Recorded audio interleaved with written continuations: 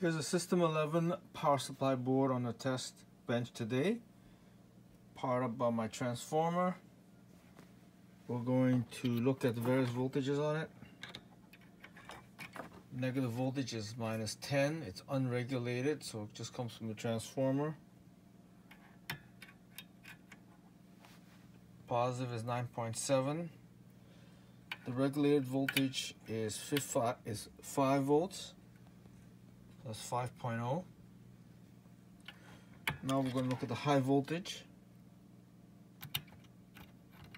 This meter will show the negative high voltage and this is the positive. Is going to be controlled by this variable transformer. So you can see we will increase the voltage and we see the voltage rising on the high voltage outputs. Slowly rising. 40 volts plus and minus. Then approximately here with 90 volts AC input we'll get 100 volts plus and minus and the rest of the way increase it will not change.